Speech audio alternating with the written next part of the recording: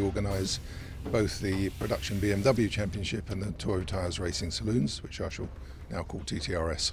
It's looking brilliant. Um, a year ago, we were talking about the BMWs, which is now in its 13th season, possibly dropping off because the cars are getting older. So we had plans to um, negate that by having another series. But in fact, more people have come out with these old cars, and this year we're looking at grids of probably 30 upwards, which is uh, fantastic. I mean, after 13 years, that is brilliant. It's very cheap racing.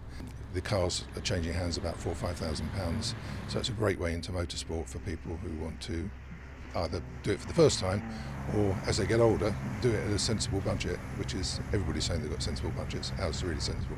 So the BMWs when they started 13 14 years ago uh, the ethos was you could build it on your drive yourself. You didn't have to have any professional input.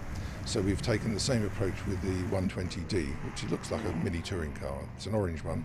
You can't miss it if you see it on track um, and we took the same approach with that. So it's taken us a year really to develop that car, but it'll be extremely powerful, um, very torquey, but the whole car can be put together for probably less than £11,000, which, as you've heard today from some of the other series, that makes it incredibly cheap. Toyo Tyres Racing Saloons, the other one that we organise, we've opened the rules a little bit more this year. Um, so we've got younger cars. It was predominantly up to 1994 cars and then it's moved on to probably 2004, 2005 cars now. So it's a big leap forward. But bigger than that, we've just opened the classes to more types of car.